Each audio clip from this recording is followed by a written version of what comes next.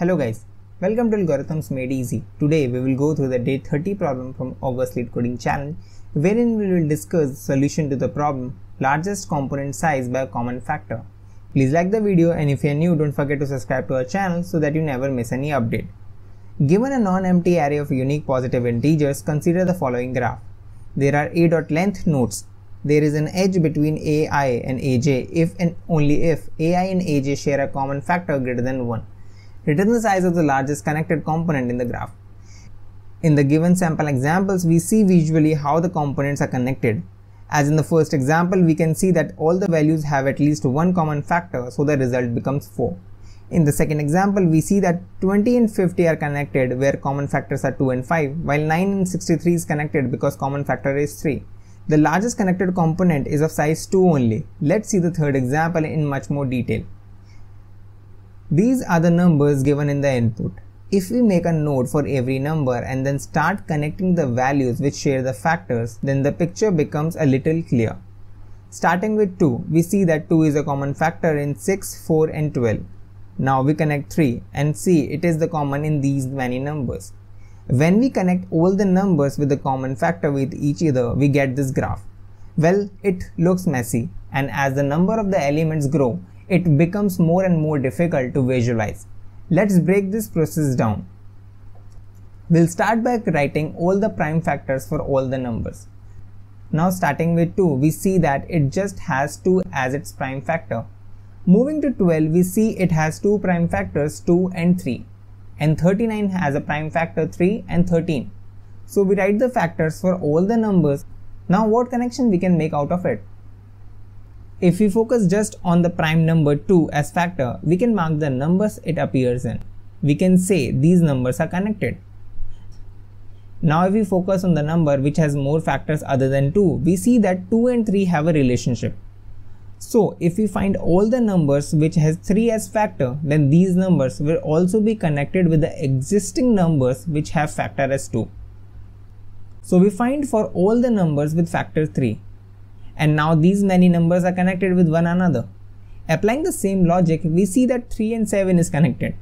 So we connect all the numbers with existing graph. And now all the elements are connected. We can return the size of this graph, which is 8. The question that arises over here is how do we find the relationship between the numbers and their factors? The answer to this is a data structure called disjoint set or also called union find or merge find. You can see its key role in Kruskal's algorithm for finding the minimum spanning tree of a graph. This data structure has two operations. First is union which takes two arguments and create a relationship between the provided numbers Second is find, which takes one argument and finds the parent of the element. The data structure has an array where all the relationships are stored. We'll find the maximum number and have the array of the size equal to the number plus 1. In this case, as maximum number is 12, the size of the array is 13. Initially, all the values will be equal to their indexes. Now comes the part to create the union between the numbers and their factors. We will achieve this by prime factorization. Using the brute force approach, we'll find the prime factor of the number and then call the union method to create the relationship between the two. We'll start looping on the input array and pick our first value.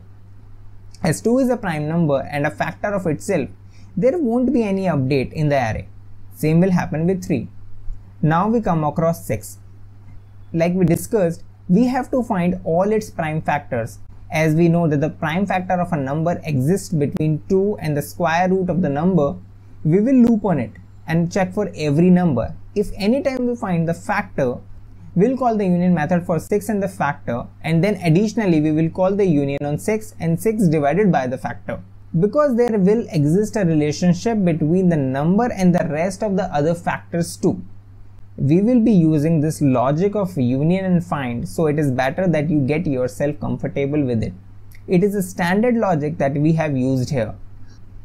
For more clarity, let's add index to all the values.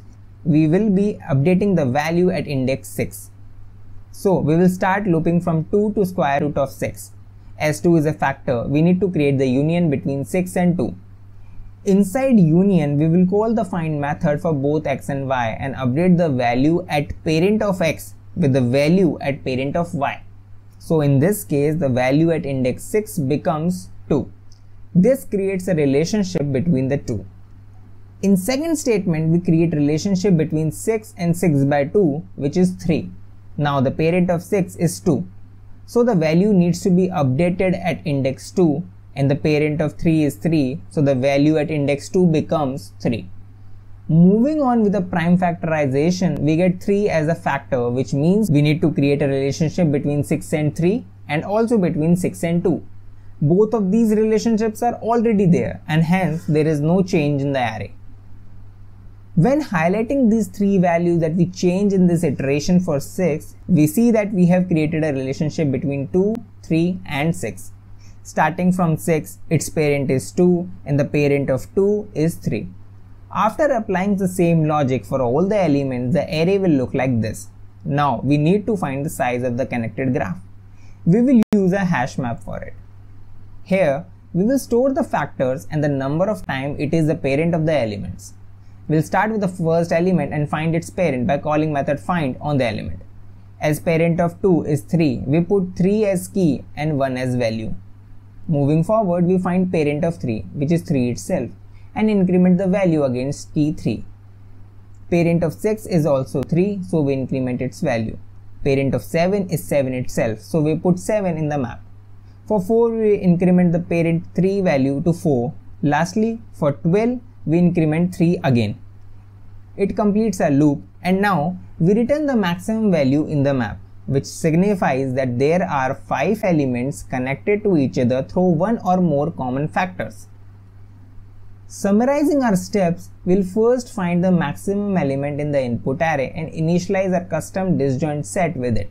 We then loop on the input array and for every prime factor, we'll create two unions first between the number and the factor, second between the number and the remaining factors. We then initialize our hash map and a result variable too.